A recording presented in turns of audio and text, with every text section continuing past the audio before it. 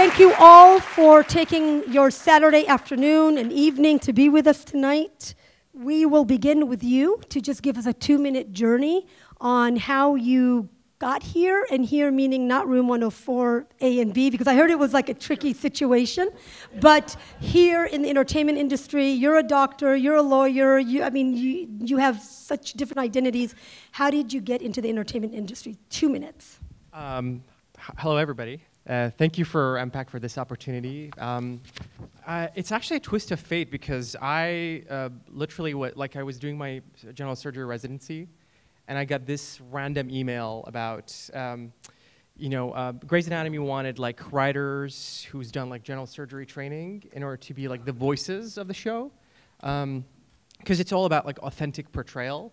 Um, I was a fan of the show. Actually, one of the reasons why I came to America, like, and become a surgeon, is because of the show, which was very ironic. I was like a windblown refugee, like in Syria, when I was watching those pirated CDs of Grey's Anatomy, and it was just like a full circle. So I, they interviewed me, I got the job, and they liked me. I've been there for six years. Wonderful. Congratulations. Yeah, thank you. Qasim? So I, I fell in love with film uh, at a class in high school when I was 16. Uh, I then said, "This is amazing, but no one does this. Who does this? Like makes movies? It was seemed so like grand and huge. I, I ne- I'd never known anyone in this space, so I, I figured I'd do it for a hobby. Uh, and so I start shooting stuff around the neighborhood with my brother, my cousins, friends. Um, when I was uh, a senior in, in college, so I was going to school to become a lawyer too, and I, I have a degree in criminal justice and pre-law. And the summer before I took my LSAT, I, I'd been practicing. Uh, I'd just taken the practice LSAT, set my time for the real one, and I was in this major car accident where I flew through the window and nearly died, um, which at the time was quite tragic. Uh, but in retrospect, it's probably the best thing that's ever happened to me because I, I consider. I mean, I think, I think sometimes it's an advantage to face mortality, and you you kind of. I, I think a lot of our deepest fears is that, and so when you face it when you're 21 or 22, it, it becomes less of a fear. So then after that, I, I it was sort of this metaphor because my LSAT books burned in the car, right? Like, I can't even I can't make this stuff up. And I was like, all right, well, if, uh, and then I had some issues after that, like just going through healing and uh, physically and psychologically. And after that, I said, well, let me make a movie about what I went through. It was called Inner Struggle. And it was like, technically, it wasn't all that, but there was something there. My aunt, who's in advertising, was like, there's something here. So I started showing this movie around campus. Uh, I finished with that degree. Um, then I just went headstrong, like headfirst into the movie thing, and just started shooting stuff around Detroit. Um, shot a couple things, rented some theaters, had some screenings, moved to New York, made another movie with Danny Glover and Evan Ross and all them. I mean, there's a lot in between, a lot of pain in between and all that. But you know, that that's just we got two minutes, so um, I made that film. Uh, that film took me around the world, Mooz-lum, um, and then. Uh, uh, and then I made another in, uh, called Destined, and then eventually uh, I made my way to Boy Girl a Dream, which was which premiered at Sundance last year. Right. And yeah, Thank you. Zara? Hi, everybody. Good afternoon. Um, so, a little bit about me. I'm the daughter of Pakistani and Indian immigrants who came to the U.S. in the 70s. They were both doctors, and they were very uh, a little disappointed that their four children, none of us, became medical doctors. Uh, I grew up loving cartoons and animation, and I wanted to draw and become an animator. Uh, but when I got to Wellesley College, just outside of Boston, for my undergrad, uh, the theater department seduced and bewitched me, and uh, I went ahead and I ended up majoring in Japanese language and literature. I lived and worked in Japan for a little while in the theater, uh, studying acting there. Uh, I then spent several years on the East Coast uh, doing theater regionally, New York, Washington, D.C., toured around for a bit with my own solo show, which was a comedic love letter to the experience of growing up as a Muslim in America, uh, before finally moving out to LA about eight years ago, where I really started to explore um, that love I had for animation, and I married it to my love of acting. And I now primarily make my living uh, doing voiceover for animation, for cartoons, for video games, and pursuing on camera work as well. Um, Assalamu alaikum. My name is Fawzia Mirza, and uh, my LSAT books did not burn in any fire. um, I, uh, you know, I was in, I acted and did band and speech team when I was in high school. I grew up in Canada, and uh, go speech. Um, and I went to my parents. My dad was a doctor. My brother became a doctor. My sister became an architect. Um, so it was like, Fuzzy, are you going to become a doctor? or an engineer or a doctor or a lawyer. And so law school seemed like the, the least painful. Uh, you know, it was only three years. So I went to law school um, and I went, I, I took, I mean, I took the bar exam, but also I found something in law school. My favorite part of law school was actually a class called trial advocacy. Trial advocacy is uh, a class where you learn the rules of evidence. And so, what I loved about learning objections and cross examinations and opening and closing arguments is that it was a lot less like lawyering and it's much more like acting. So, what I started doing was I know they can bite you anywhere. Um, and so, what I started doing was I became a lawyer, I became a litigator for about three years, and I started lawyering by day and taking acting classes and comedy classes and improv classes at night. Um, and I did that for about three years, and then knew that I didn't want to be a lawyer anymore, especially not the law firm I was working at. It was pretty toxic. Um, and so I left to do comedy, educational, sexual violence prevention training and performance work. So that had me performing at colleges and universities around the country and military installations around the world. And I did that work for about nine years while I also was figuring out what it meant to be act, an actor. And uh, I kind of got to hear through the fact that I found that I'd go in as an actor and you know I wasn't Muslim enough or brown and I, I didn't seem enough for any of the roles and so I started writing and independently producing and writing and creating and starring in and casting the people I knew and loved in my community in Chicago, and eventually made short films and web series.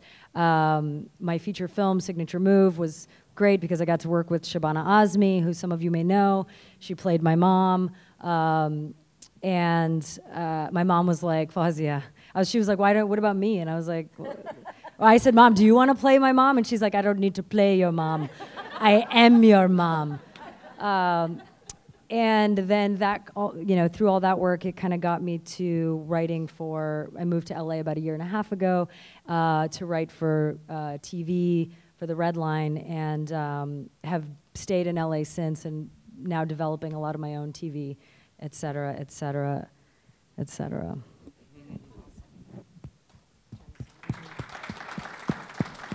Did you plan that the microphones match the outfits? Oh, I no, I love did that. not. Oh, no. Mine's purple. Yeah, we planned that because MPAC thinks of everything. It's awesome. Um, we did. We did plan that. What, what's up with, with Middle Eastern moms that are always like, I can do that. I can, I can act. I know how to do it. Um, so I am from Iraq, and I grew up in Kentucky. And um, when I went, I was wanting to go to college. My mom said, "You don't know what you want to major in. I'm not going to pay for you to go somewhere else, so you can just go here."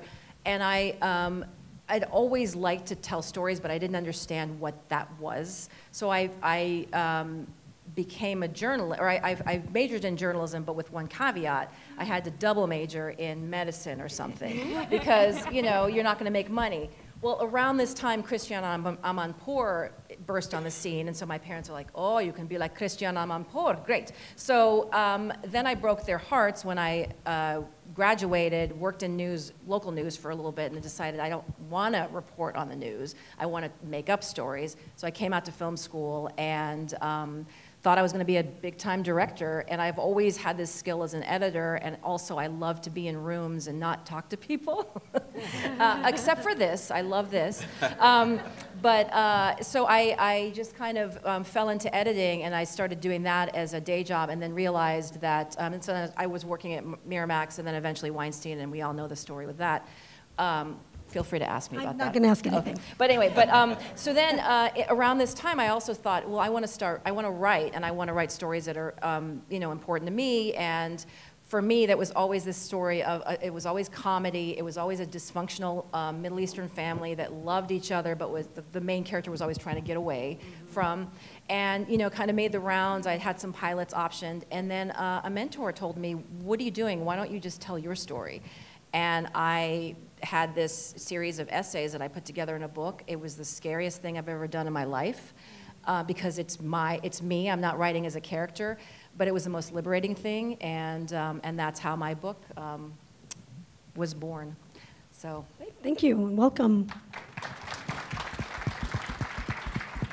So we're going to start off with an easy question, and we're going to kind of put the spotlight on the industry before we put it on ourselves. How can we um, help non-Muslim creatives and executives expand their concept of Muslim narrative so they, under, they understand that we're not a monolith and that we actually have intersectional identities? So, and, and I want this to be interactive, so just jump in. You all have, you all have worked with non-Muslim creatives and executives. And, and I know at one point or another you had to push back on you know, certain things, I'm sure. Um, so how do you handle the non-Muslim creatives and, and executives? Fawzia, you look like you want to start. You go. Sure, sure. I mean, I, I can start like with um, when we tackled the, the character that we had in Grey's Anatomy.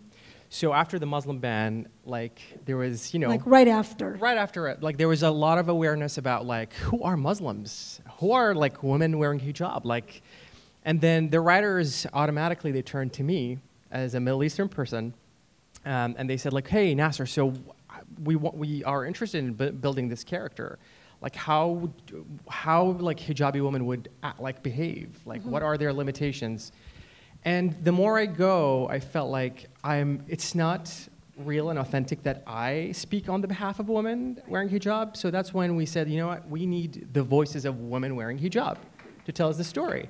Because otherwise, I cannot, I'm a man and I cannot, like, you know, give the authenticity of their daily struggle or even just normalcy of their life. So MPAC was, you know, very essential and connecting us with women um, who are actually dealing with this on a daily basis. And what I loved about this, for me, a woman wearing hijab was always like there's one concept, like it is very monolithic, as you said.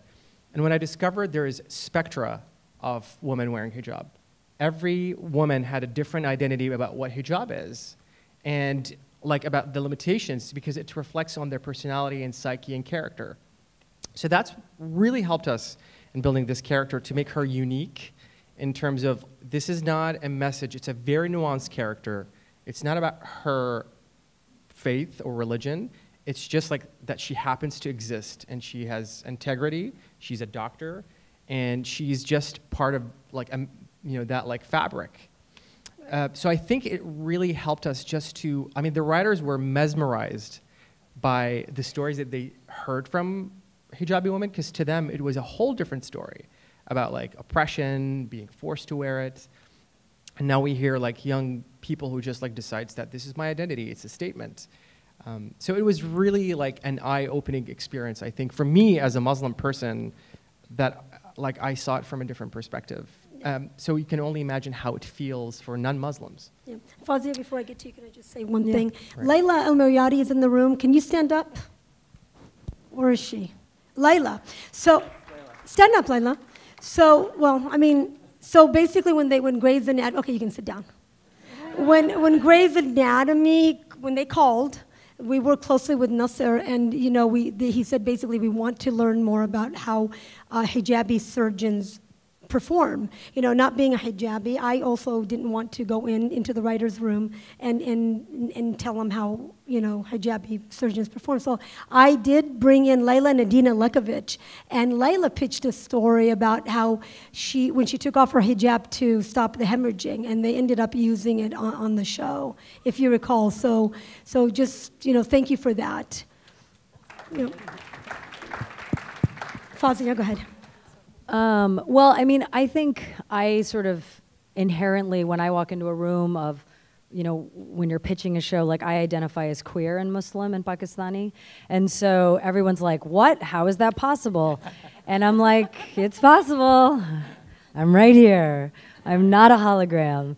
And so that's a reaction that's not uncommon in executive spaces, but also when I walk in a room and I'm pitching something, I'm pitching something that is deeply about the intersectional spaces, about Muslim identity, and that mean you know that means all of us. I mean, if there's 1.8 billion Muslims in the world, there are a lot of different kinds of Muslims, and you know whether that's in whether we wear hijab or not, or what country we're from. I mean, there is so our our, our sexual orientation. There's so much to talk about.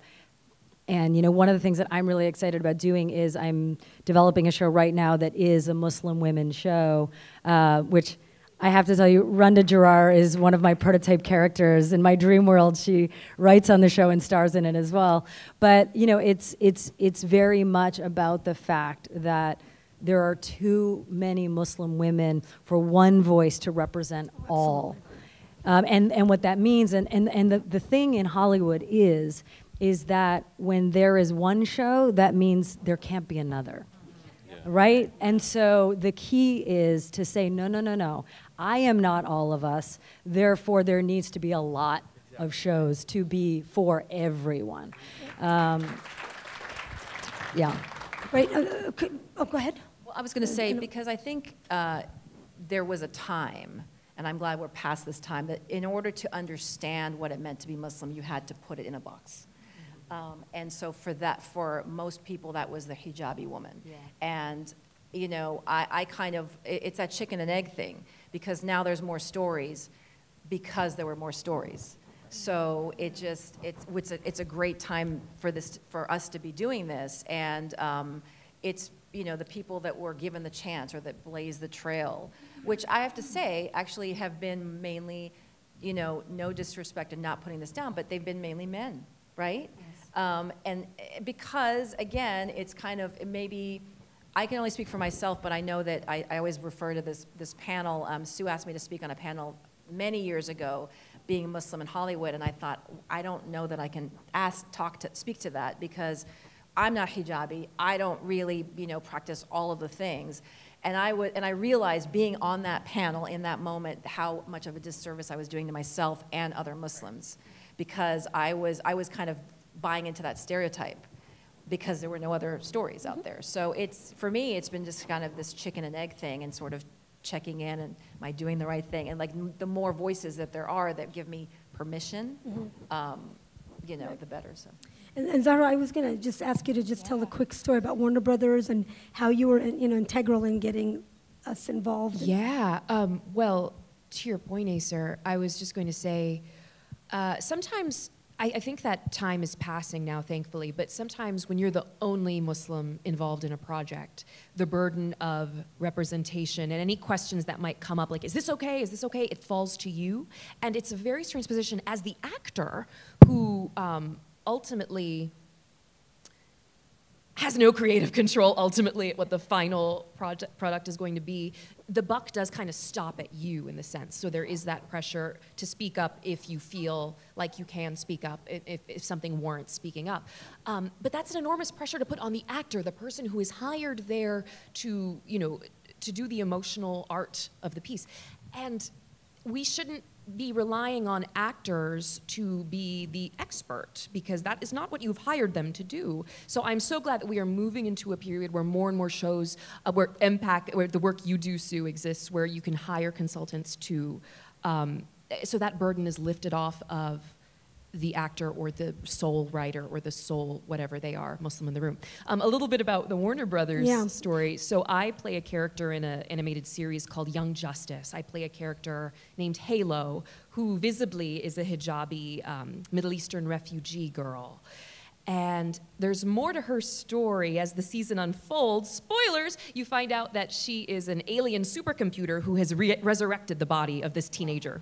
Um, the computer identifies as non binary, and throughout the season, you see the computer, they're attracted to both men and women. Um, so there's a lot going on with this character that I play. Uh, I and the first season she's introduced, uh, there was a lot of polarizing fan reaction to this character from the Muslim community, from the non binary community, from the bisexual community. Um, and I feel like uh, the series creators have been so well intentioned their entire careers, and they keep pushing the envelope and bringing diversity to the table in their projects across the board. But I think what this taught them was that they needed to seek more outside help from consulting groups. And so I was so happy to make the introduction to Sue and MPAC um, so that for moving forward in their next season, they can tackle some of these things that they'd already given immense thought to. They can tackle it with more than one voice from those communities coming in to help inform those decisions. And I just wanted to add, it was, it was because also of your relationship with the showrunner Yes. that you were a, you had that space to do it. Yes. And and so that was a big deal. Absolutely. Right. I think you have to feel comfortable with the people you're working with. And oftentimes, as an actor, when you're hired for the day or for the week, you don't have that intimacy and familiarity and agency in the process to say, hey, this is problematic. Um, so it really helps. I think the best thing any of us can do in the entertainment industry is to be your authentic self with all the intersectionality that exists wherein and form real relationships with people. Um, that's the way I think to move the needle Yeah. a little bit.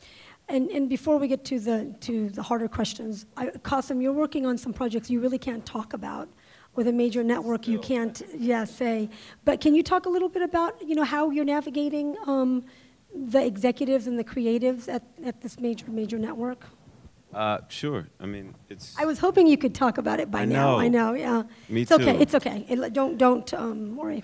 Um, so it's uh, so the question the question was how do you can can you repeat the, the actual the question The whole question, like basically, like how are you navigating the non-Muslim creatives and executives? right. Right, okay. Because So- you're, you're okay. what you're working on has a story arc. right with right yeah. right so I, I think you, like everyone's up here saying it's this is this is changing right now and we're in the middle of I think it's a revolution in a, in a lot of ways in out in the streets online and film and TV I've, I've never seen as, as many uh, diverse in, in voice and people want to hear it. People want to know. The executives want this stuff. Because I think I, I think so when you're in a when you're in a position where uh, like the the industry we're in uh, for a very long time the stories were all told by one group of people right? So like you have you know white people doing blackface and making my people look like like animals right? For a hundred years. Like this happened. And so you're out on the streets and someone sees someone like me and they're afraid. Because all you've ever seen them as is these animals. They're violent they're aggressive they're and so you, you ha- you're at a point right now where, where people said, the people who were being represented by other people, said, nah, man, I want to I wanna tell my stories. And, and it took, it, you know, it took some fighting and it took some real work, but I think we're right now in a place where, where they're starting to listen. The networks, the studios, they're starting to listen and they, and they understand that there is a, a want for it. Uh, because without, without the, the want for it, without the, the audience for it, I'm not sure that they ever start to go that way. But I, I think they're beginning to see that there's a, there's a real hunger for truth right now. In, in an era where it's hard to, like, you don't know what's true anymore, right? Mm-hmm. But I think there's a, there's a, mm-hmm. there's a hunger for, for truth. And, and I think we're going to get past this, and, and part of it is going to be us, us telling these, these honest stories. Right. Well, let's let's get to the harder questions, and I really want to set it up. That was an easy so- question. Yeah, just wait. Um, let me let me just kind of set it up, okay? Um, so American Muslim creatives are experiencing a new phenomenon in the industry. While we still have a ways to go, more than ever than any other more than any other time, the industry is reaching out to us to see more Muslim characters and storylines on TV and film created by and about Muslims. Kind of to your point, Qasim. Your work is so crucial in leveraging the industry to help normalize Muslims. And I use the word normalize, I'm in air quotes, I'll just say air quotes, because it's a better word than humanize, um, which is also an insult. But right now, we are being normalized. Of course, no one portrayal can cover the spectrum of what it means to be a Muslim. So, take, for example, Hulu's Ramy. How many of you have seen Ramy? It's been widely embraced by audiences across the country. However, there is a stark, stark division among American Muslim communities. Many see it as authentic and nuanced, but it also has been criticized by many in the community for its use of sex and portrayal of Muslim women. In fact, after its release, Ramy Youssef wrote an op ed in The Hollywood Reporter explaining that Ramy was his story and that he wasn't trying to reflect the journey of all Muslims. So the question here now, here's the question. In creating or portraying authentic Mooz-lum characters, how can we help the community understand that not every portrayal is going to be their experience? Um, I, so I can I can speak to that because. I, I went through a lot of that when I made my first film Muslim, and I mean it, it's so I think there's a tendency to uh, I guess the answer would, would be that, my answer would be this. Whether or not we are in it they're going to make they're going to tell the stories anyway. And they're probably going to do a much worse job because they only have certain ideas of who we are. I have never seen in my life an immediate and destructive portrayal of a people than I saw post 9 11 of Muslim people in media. I just, it just immediately became the, the terrorism narrative, the, the, the angry Muslim narrative. I, I, and all of a sudden, it just, th- things changed in this country for Muslim, Muslim folks. I, I'm, not, e- I'm not even identifiably Muslim, but like when I come back to the United States, I've been detained three times because my name is Muhammad Al Qasim ibn Abdul Basir, right? Like I've, I've experienced a level of, I mean, I couldn't on send your, money. pa- on Like, your oh, yeah. passport? Of Yeah, course you're gonna pa- give yeah. right Yeah. right so like but just just like understanding like just watching that thing happen and and and and now saying all right well we want to tell some stories that you know that are honest and you know you, it's like well well don't show that don't don't show that it's like well wait a minute this this is what your kids are going through like if you don't show it it doesn't mean it's not going to happen right like if you if you can't talk about it if we can't like tell stories about it, it it's probably going to be brushed under the rug and happen, you know, in, in secret anyway. So why not have the, the conversations, tell the stories, and like let's act like this stuff is really happening. Yeah, I mean, as I said, I mean, uh, so much of our, my work is about identity. So it's always about being Muslim and brown and American and Canadian and Pakistani and from here and there and complicated relationship with my mother and about my queer identity. And so I have, you know, just being a person in all of these communities, I feel like just to be alive and be a person and to feel safe, people say you can't be that. You, you don't represent us. So I feel like as a queer Muslim, I face that anyway. And then in my work, I, I definitely experience that from community. And I feel like, you know, what's, what's exactly what you're saying. They're going to tell the stories regardless. And, and the truth is, it's like, it's not just about a queer identity that may, you may feel like doesn't represent you. It's that I put a tweet out uh, about two months ago, and it was, you know, I'm developing a show about Muslim women. Muslim women, what do you want to see? There were so, and I would say, alhamdulillah, there were so many responses. None of them were the same. None of them were the same. So, what that means, again, is that it's not just about like, well, this one queer person doesn't represent my experience. It's that there are so many of us around the world from so many different countries and backgrounds and experiences that not one story ever will reflect us. And that's okay. Now, does that mean that I think Ramy is a perfect narrative? No.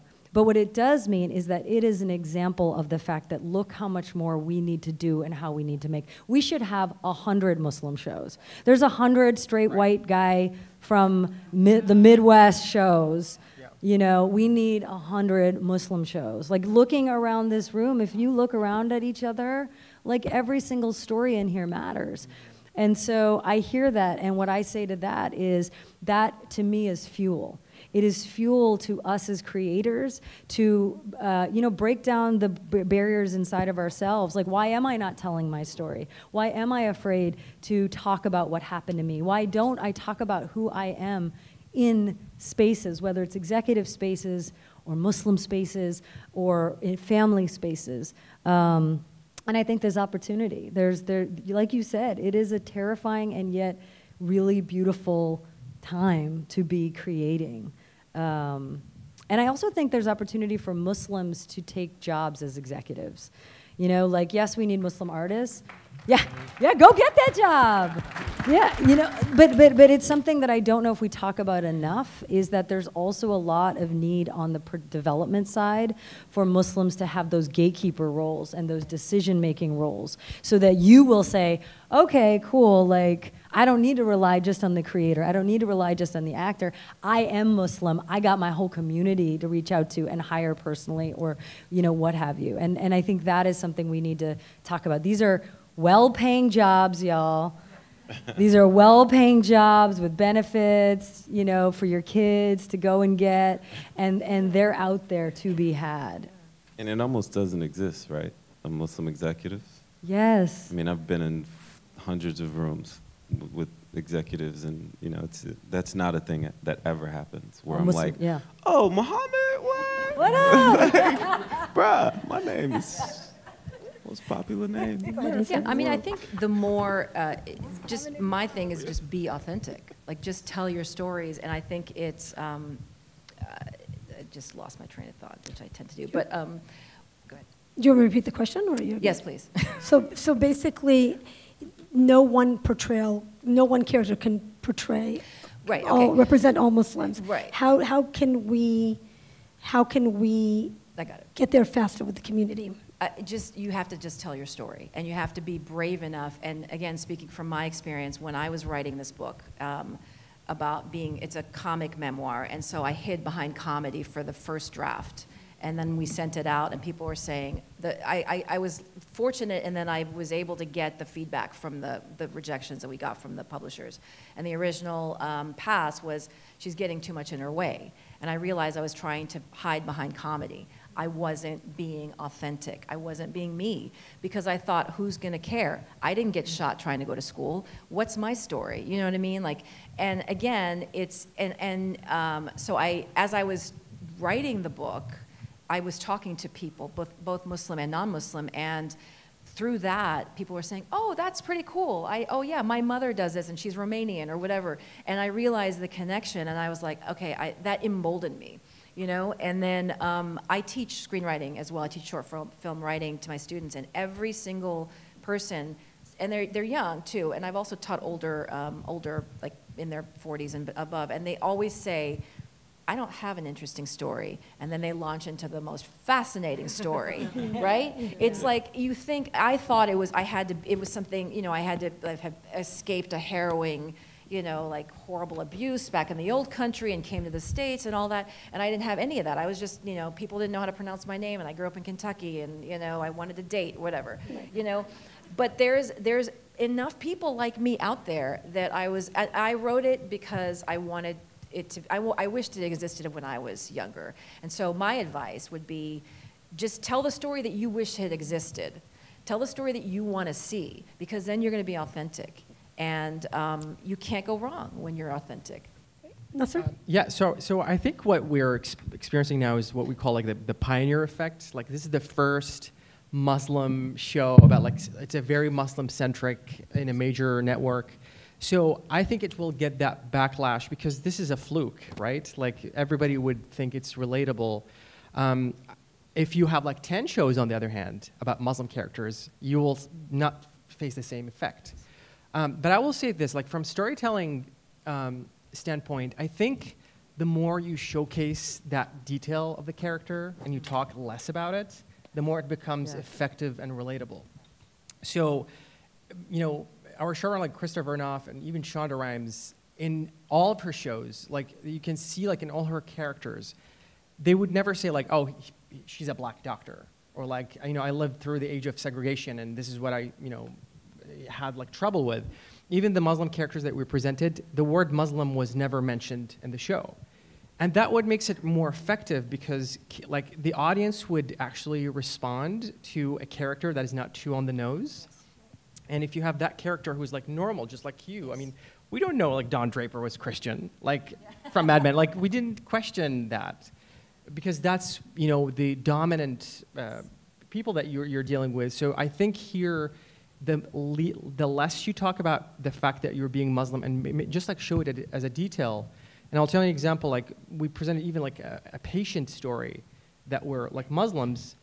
Uh, but we did not really say that word that they're Muslim. They, we could just like show that the, his daughter was having surgery and he was like um, holding the masbaha, like the, the bead, and praying as a s- gesture like, oh, this is a Muslim character.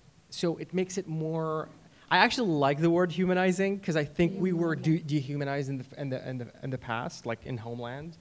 Um, so that's my opinion about it, is just to talk less about it, make it a detail orbiting around the character. Great. I and then, I, then we'll go to the next question. I completely agree with that statement. As, as an actor, when I approach a character, and if, if, if I'm playing a character who is Muslim, um, I play a character in a Nickelodeon animated series who is Muslim, um, but when I was creating the sound of her, I wanted Muslim to not be the first thing that you think of when you see her, even though she wears a hijab. I wanted you to say, oh, yeah, Zara, she's the sarcastic one. Why is she sarcastic? Because she's deeply sensitive inside. And so she uses her sarcasm as a shield. And, you know, she's hip and funny and cool. Oh, oh yeah, she happens to be wearing a hijab. Like, it's what can you make around the character that doesn't emphasize their faith or their you know those circumstances? Because that's what really you connect with. Like when you think about the shows you like as a viewer the connections the the characters and the stories you feel resonate with you it's for me it's never about oh they share the same faith i do i feel like they're me it's oh that's my personality or oh that happened to me like i love luke skywalker we've spent our entire like past several decades learning to identify and empathize with the white male journey. And we don't say Luke Skywalker stands for all white men, you know? And so everyone can learn to identify with anybody as long as there's that emotional connection there. And I agree completely. The less religion is highlighted and the more it's just part of the whole fabric of that character, the more effect you're going to have on people. Uh, I just want to say real quick, I, I, I agree with that sometimes. I also think I feel really strongly, and, and potentially it's because of my queer identity, I feel really strongly about telling people, no, no, no, we're Muslim, y'all. Like, we are Muslim. And I, I love that, and I think it's about how it's done, and it's about sort of a, a, a just a, a layered, nuanced approach to it. Um, and I wanted to say that maybe this seems a little off, but I was thinking about how do we not just we on stage as creators, but how do we also support a nuanced narrative? As part of this pioneer wave, I think part of it is also what do we go out and support with our dollars? Because Hollywood is really just about commodifying, right? And it's all about money. So, what you all can do, what we all can always do, is whatever that narrative is, whether you, you know, go, go spend your money on it. I know it's like uh, spending money, but but that is how they know that we exist and our voices matter. I mean, there was a show that came, a movie that came out. It was like a doc hybrid called Meet the Patels, and it was you know this uh, really funny South Asian guy, and he he made this doc about his family. Every Patel in the country, in the world, went to see that film. Every Patel, and then suddenly Hollywood was like. Wow, these Patels, they got a lot of money. And the rest of us are like, we knew, you know? And so what happens then is suddenly they looked at us, the South Asian buying power in film as something that mattered. And that is the kind of thing when we show up and we spend money, when we go and watch your show and your movies and your movies and buy your book, and, and so go buy the books, that tells people, oh my gosh, the Muslim voice as a buying, they matter. This ummah matters. And they are, they are all across the board. They are a spectrum of voices. Go ahead. Thank you, Fatma. I just wanted to add one point. Like, I think the audience really, you know, respond more to empowering stories. Like, we're wired this way. I think one of the elements also is to show like victimizing roles is also not helpful, especially for Muslims. Like, people would not really want to watch that. But sure, if we wanted to make it a detail of this story point, that you know I struggled to fit in, and but here I am. Like I learned the language perfectly, and I'm like integrated, and I'm a successful doctor. Like it's it's about like what do you do in order to make that failure into success.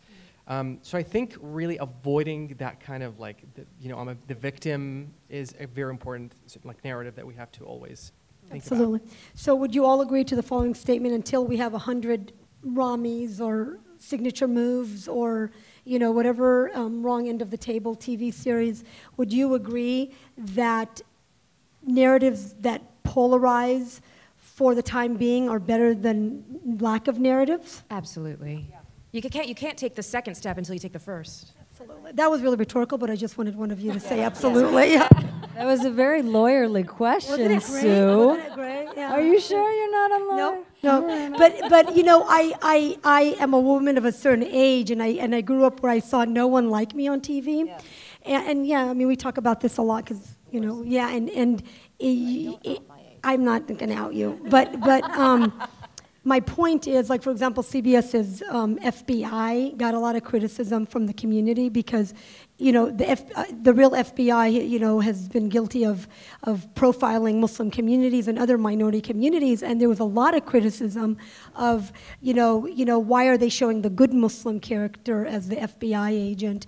But it's like, wait a second, they hired a real Muslim to pay, play a Muslim. Like we are taking small steps, so inshallah, in like three to four years, this is not going to be a topic of conversation. And, and, and you know, I just wanted to um, say thank you for all your thoughts. So the next question is, what would you like the community to know about the industry? I really think that the industry is still very, um, I don't want to use the word ignorant, but like there's a lot of education. It's not true because like I'm a medical consultant for Grey's Anatomy.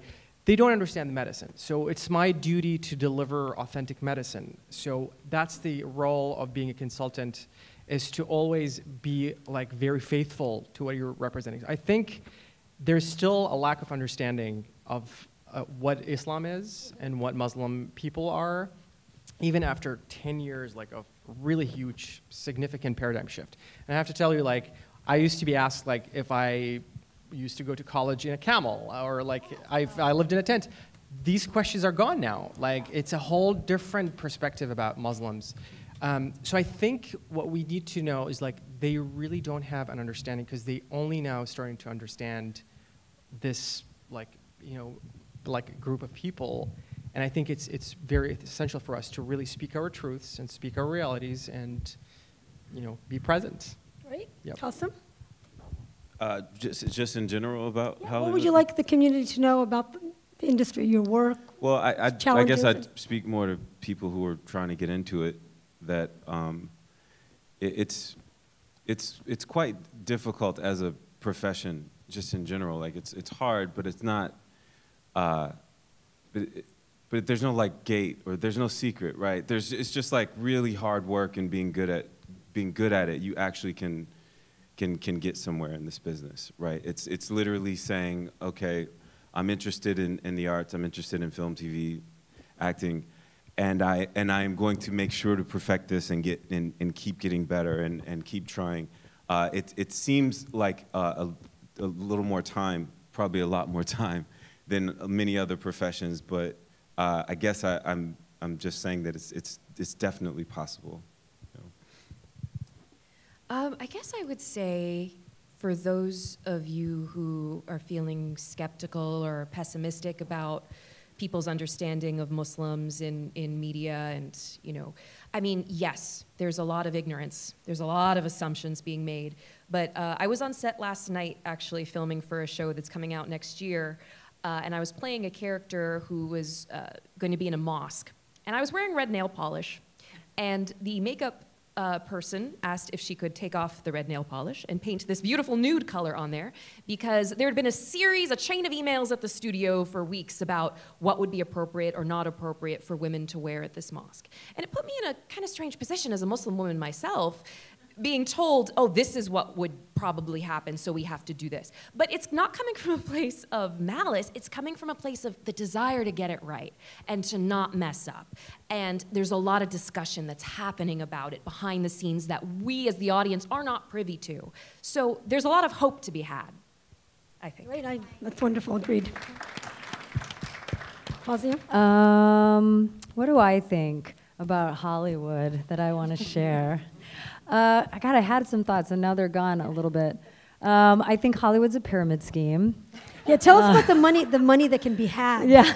Yeah. I mean, it's a complete pyramid scheme. You know what I mean? You're like, I'm going to buy a lotto ticket because it's like we all want to be like as big as Disney or Ava DuVernay. Like, that's obviously a dream that we all want to have or should have because that's what keeps us going. And the reality is, and I think actually when we think about Islam and like the really, some of the beautiful ideals there, it's like, it's not just about that. What is success? What is, what is happiness? What is love? What is wealth? I think truly it's about like much smaller things and it's about much more individual connection and love and meditation and, and peacefulness and calm and et cetera, et cetera. This all this other stuff, it's awesome, but it's it's it's a pyramid scheme. Um, I don't know. I had something else and I kind of lost it. Um, I feel like we're all creators, which is kind of cool. Um, I lost it, man. It's okay. Well, I to- don't know. To your point, Hit me up later. to your point that you said earlier about it being a business. I mean, it's it's show business. It's they are especially when it comes to TV, which is like and and somebody mentioned that like the the it's it's very corporate, right? Like you have so many like yeah, oh, the, I I, imagine, I feel like maybe the the note was like probably like a chain of emails where it started with really small, you know what I mean, about the, this darned red nail polish. But it's it's it's a it's a business, and if people are consuming this, if people want to see the brown person, the beige person, the whatever person doing whatever, then they're going to make those stories. You know, I mean, I feel like right now is a perfect time because of what's happening in the world, like what's happening just very east of us that's, you know, going on over there in Washington. And there's so much vitriol coming out of that that if we have other voices that can combat that, I always use these very incendiary combat. I shouldn't say combat. yeah, yeah we talked about that. it's very explosive. Um, Well, and what I was going to say is kind of you jogged my memory a little bit is that it's important to know that like whatever anybody hears, whatever part of what we're involved with, even if we're an executive producer or a a creator of a show, there are still so many hands and voices above ours that all have impact. And and it's it's not just I wrote this, here you go. We're making Right. this thing exactly as. There are so many, and in just in a, if all of us made a film together, that would be true of that film. But in Hollywood, the bigger the project, the more voices, the more hands, the more people, the more narratives that have impacted what that story is going to be. Um, and sometimes that's really beautiful. I believe in collaboration, and sometimes that can be challenging. It's actually almost, it, there's always a little bit of a challenge in that kind of collaboration. Um, Because everybody has notes, and sometimes it's like somebody's uncle or whatever that has notes, or somebody's cousin. So I want to now get questions from the audience. Thank you, everyone, for being here. Uh, my name is Halima. I'm a Gen Z activist from the Bay Area and really excited to be here. Uh, my question was around social media. So, we're in a time and age where we actually have the ability to own our platforms and create our own narratives. And I've been able to use social media to do that. Um, I'm wondering how we can take that and like really empower people in the community, local leaders, to be able to use and create their own platforms to change the narrative. Um, even if you're not an executive producer, um, you know, in Hollywood, but if you're just someone in the community who's like, okay, I have like 15,000 followers, how do I, you know, strategically use that to change the narrative? That's a fantastic question. Um, I am social media of, well, I, so, I should say social media light. When I was uh, writing this book, it, you would be surprised how much your followers matter. Um, and I, it just, I think it's, it's um, finding a brand, basically, finding, you know, literally a color scheme, you know, like for my, my book is pink, so I had to do pink things and things like that. And just posting at the same time, posting on brand, uh, posting on message, because people now want to consume no more than 15 seconds. I mean, I edit and I've been editing short form, which is two and a half minutes, but they're like, no, no, no, we have to do 15 seconds is the longest that people will look at stuff. So anybody can, you know, anybody can cre- create. You can take your phone. Now there's TikTok, which edits it for you. You know, all of this stuff. So I don't know if that answers your, your question, but that's my. Uh, I just, I was just thinking, I just did my first TikTok today. Congratulations. Thanks. It's about a dog and a human. Um, the other thing I was thinking, uh, the tiny thing, I, I, I've seen a successful site, uh, which they do highlights of people that they want their followers to know about. So they'll do like a weekly post that is specific to highlighting whether it's an artist or an activist in the community, whether that's local Bay Area community or Muslim community internationally, but people that they're like, I want these are these are people who are doing the work also. So I feel like using social media to amplify other folks and other other views is kind of a, a great thing that we as Muslims can do. And hashtags. Yeah, Hashtag. I uh, I uh, work on a lot of projects for kids and teenagers, and so I have a lot of young people following me on social media, which is terrifying, but also really exciting because get them when they're young. And uh, so I always post a Ramadan post. I always post very casually about Muslim things, um, just again in that attempt to normalize it and kind of just get like this is like um, I posted Pride Mubarak, which got some interesting comments from both sides of, of, of the spectrum. Um, but like, is like, hey, no, this is this is who I am. This is how I in, in, integrate Islam in my life, and this is equally as authentic and Muslim as anything else that's out there. So it- it's just a matter of being yourself, and then totally like um, signal boosting others who are doing great work. Thank you for um, representing part of the revolution, which is just seeing the whole spectrum of what a Muslim looks like. I finally, after being here since the age of 10, have figured out when people say, Oh, but you don't look like a Muslim. I finally figured out an answer I can give very comfortably. I say, This is what all the Muslims I know look like.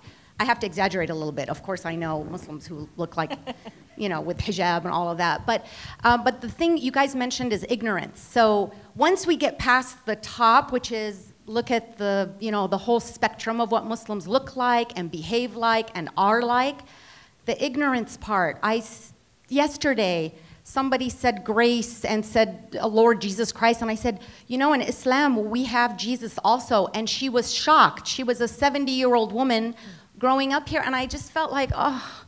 We just have to start from zero. What you know, we have Adam, we have Noah. I mean, these are your stories are our stories too. We have those stories, and I just feel the ignorance gets to me. So what? When can we address the ignorance? right at the moment right at that moment you just it's just dialogue i mean you really have to just we have to have dialogue and people think that okay you're going to get political and i'm going to agree to disagree it's not you just have to just nothing bad can come from a respectful discourse.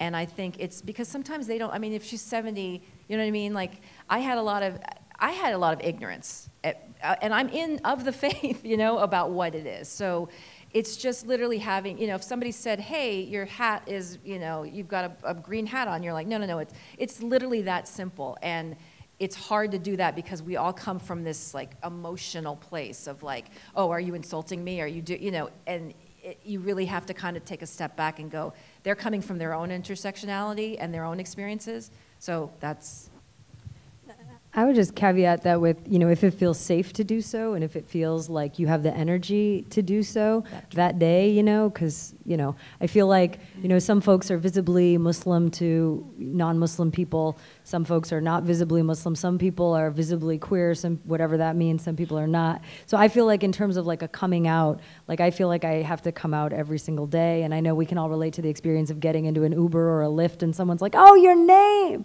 Fawzia. Yes, where are you from? And, you know, like that, it's like, do I want to have that conversation in that day? And I don't know what's going to happen here. So some days it's like there's a lack, I don't want to engage because I don't know where that conversation's going to go. So I think really it's a matter of like, yes, if you can. And then also, I would say non Muslims should also, you know, we need allies. We need allies, no matter who we are and what identity we're talking about, to step in and speak up as well and do that work because we shouldn't always have to be defending ourselves at all times. that's good Yeah, uh, sorry. Uh, you- Be my guest. Um, so I think in terms of ignorance, I think the more nuanced and varied these stories are that come out, that that include people who are who identify themselves as Muslims and across the spectrum, the the better off we're we're all going to be, right? Like when when there's a TV show, like when there's people are inviting you into their home when you are when you are on their TV, right? And especially if they're watching your your show every week and they're allowing you to say a thing to them every week for one hour or 30 minutes. And that thing can essentially change, completely change someone's perspective about a people, about a faith. It actually can. It's done it for me. And so the more opportunities we get to have more stories that are, that are, that are nuanced and varied, I, I believe the, the, the, the stories will do this and the ignorance will do this. So I, I'm going to tie off the two questions because I think they, you know, trickle down to the same effect, which is basically raising awareness and, and I think sharing your own story. And I'll tell you, like, it, you know, for, for, instance, like in, in the writer's room in Grey's Anatomy, I'm, I'm originally from Iraq, uh, born and raised there. Um, when I told them like some details about our lives there, they were fascinated. Like when I told them like about our Eid, like how we, you know, buy new clothes and like go to our seventh neighbor and like exchange, like have tea time and tea party and biscuit and like talk about these things, they really changed their, their whole perspective about what Iraq is. And it came from a place of power because I had the voice to speak. So I think if we can raise that awareness in social media, just like give a little detail about what Muslims do in Ramadan. I mean, you can see the impact that we can change, and it, I would say if it's delivered with originality and simplicity and like uniqueness, people will listen. Hi, I'm Evelyn Alsultany. I'm a professor at USC, and I study representations of Muslims in the media. Thank you all so much for this fascinating panel. My question is, uh, what do you think has led to this modest expansion in representations? And I've been trying to figure out to what extent is it social responsibility, Muslim ban happened and people responded, or to what extent is it Oscar's so white, there's this controversy and they don't want to be embroidered in, in controversy, or to what extent is it the audiences responding and asking for this in the box office? So I was curious to hear what you think or what you've heard in the areas that you work in that led to this modest expansion? It's Thank you. all of it. Yeah. Mm-hmm. Yep. It's all of it. This is a, like, man, we are in the fight now. Mm-hmm. And, and this is part of it. Saying, and, and it just didn't, it didn't just happen right? It didn't just one day they got up like, oh, let's start telling these. No, it was for years people literally marching and being on Twitter and being in, in the offices and saying like, we're not going to stand for this. So yes, Oscar So White is a part of it. Yes, the, the Muslim ban was a part of it. Yes, and then the reaction of the people that stood up because of it, right? And so I think it's just a matter, like, let's not get comfortable in assuming like that's just going to continue by, by itself. Like, I think it it's going to continue to need people to stand up and say, no, I want to, I, I want more, I want better, and, and, and hopefully they'll continue to respond to it. Mm-hmm. Uh, my name is Farm I am a South Asian Muslim Canadian, and I'm also an actor. Yeah, thanks.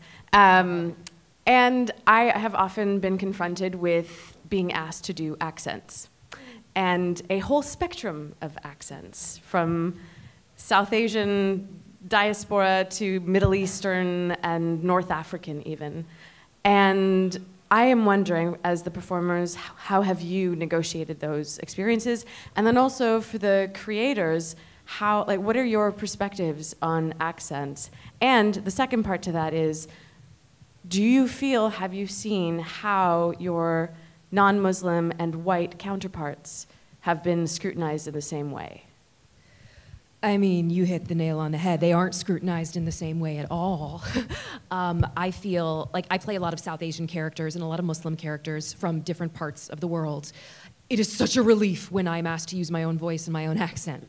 Uh, that being said, I am very proficient in South Asian accents, and I have the luxury of playing a character who's from a fictionalized Middle Eastern country, so the style of that accent was set by actors in the past, and I continue to kind of follow their lead, and it's, you can create a little bit. You don't have to be so specific. Um, but the thing that comes with that is you do then get a lot of scrutiny, like, ah, the accent's not quite right, or ah, why, why are they doing this? Um, it's tough. It's a tough position to continually be asked to be put in. Uh, I, part of it as because I do so much voice work, I like to think that I'm called upon to do it because I'm excellent at it. But really, I think I get called upon to do it because I'm not white, because I'm the ethnic choice. Therefore, I can do any accent, can't I? Um, and I do not think that burden is on our white counterparts, and I do not think they are scrutinized in that way about Southern accents or British accents. Um, it's tough. It's tough to negotiate, but the thing to recognize is if you have that skill set in your bag and you're called upon to bring it out, bam, put it on the table, get that job, and then get the 10 other parts that don't require you to have the accent because you've built your resume up with stuff that your ethnicity got the door open a little bit for you. Uh, well, and I just wanted to say too that um, I, I, I, am not acting. I'm acting mostly in my own work, I guess, at this point. Although hire me if you want, I'm happy to. Um, but um, I've definitely, you know, it's like being, you know, I mean, being ethnically ambiguous was the thing for the longest time, right? So if you could play what you are, so South Asian. Oh, and you can also play the Latin mo- ex mom. Uh, you know, they didn't call it Latinx before, right? So, so, and you can play this. So, so I, there was a time where everybody went in for all the ethnicities they look like, and in other countries, they still do that a lot more often than they do here in Canada and the U.S. Um, I've stopped doing that. Like, I will never go in for a role unless, you know, I won't unless it's like a voice role feels different to me. Um, if it's Muslim, right? Depending on that identity, but I won't go in for a, a role that asks me to play like a character that's supposed to be a different kind of, you know, a different race. Um, that I just, I just don't do that anymore. Accents, I feel like, you know, like in terms, you know, I've done stand up, I've done a one woman play, I perform as my mother, I write about my mother. I, I think accents are a true part of who we are. But I also, th- and it's not a but, it's an and. And how is the accent being used? Is the accent the butt of the joke? Right? Like if it's the butt of the joke, that's a problem. And I think we especially see that in stand up comedy, which I think stand up is uh, historically been a really toxic, you know, straight white male dominated space. And so I know some people like Hari Kondabolu, like he won't even do accents at all because to him he's like, you're not laughing with me, you're laughing at my family's accent. And so I won't do that anymore. Um, so to me, it's like, why are you telling us this story? What more is it that we're going to learn about who this person is that matters? And then also in terms of representation on on, on camera, like. I love it when someone's accent is good it's I do struggle with it. If someone's hired who doesn't isn't that's not their native voice, if they're doing an accent that's really bad, because I'm like, man, come on, if we worked just a little bit harder, you could have maybe cast someone else.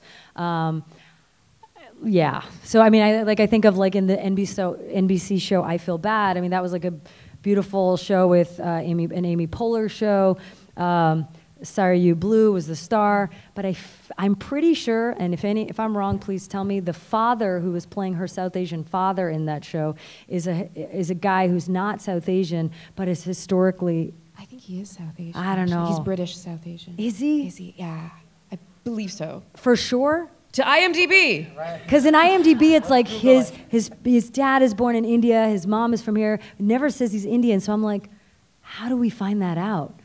You know, like, like that being like there's there's there's that kind of thing, and he historically plays a swath of Jewish, Muslim, South Asian, Middle Eastern act characters. So that's complicated in and of itself, right? So so I I, I want to end on the thing I said before. right. At least he's not so, Alfred Molina. So, so I, I agree with Fawzia, like, because I, I don't think we need to stigmatize, like, accents, but more celebrate it. I think it's part of the character study. Like it's if you, it depends on the context, context of the character. So we had like a character who is a Syrian refugee. I mean, typically he would have an accent, and we should like celebrate this identity of him. But if you're talking about like a person who was born and raised in the United States of South Asian origin, I mean, he should not have one. So it's, it depends on the character.